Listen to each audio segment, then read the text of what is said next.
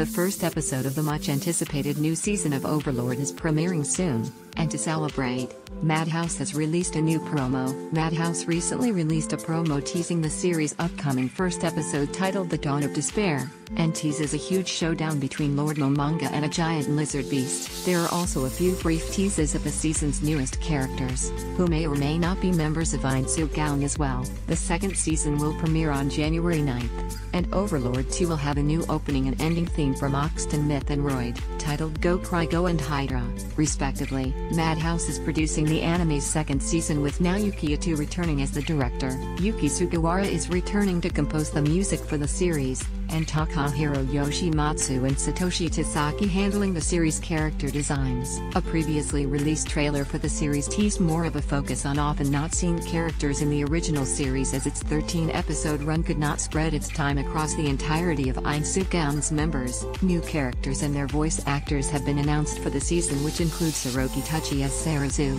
Naomi Kusumi as Shasryu, Sora Amamiya as Crusch, Ko Ujiishi as Zenberu, Kiyono Yasuno as Renner, and Ryota Osaka as Climb.